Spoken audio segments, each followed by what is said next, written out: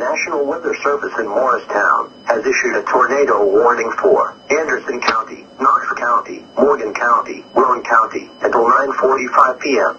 At 9 p.m., National Weather Service Doppler radar indicated a severe thunderstorm capable of producing a tornado 5 miles northwest of Kingston. Doppler radar showed this tornado moving east at 55 miles per hour. Locations in the warning include Oak Ridge, Clinton, Knoxville, Oliver Springs, Dearmond, Karns, Powell, Norris, and Halls. In addition to the tornado, this storm is capable of producing golf ball size hail and destructive straight line winds. The safest place to be during a tornado is in a basement. Get under a workbench or other piece of sturdy furniture.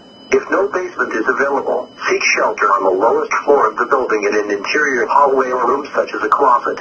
Use blankets or pillows to cover your body, and always stay away from windows.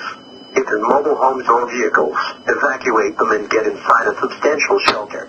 If no shelter is available, lie flat in the nearest ditch or other low spot and cover your head with your hands.